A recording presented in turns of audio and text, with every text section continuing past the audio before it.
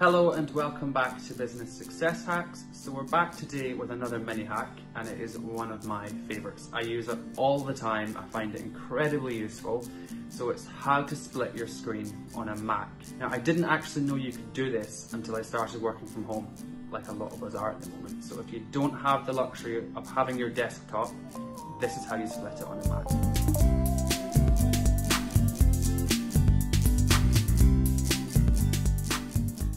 So simply slide up with three fingers on your mouse pad. This will then show your open tabs on the top of the screen.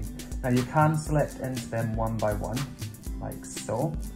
But if you want them to appear on the same screen, grab one, drag it over and drop it in the other. really is that simple.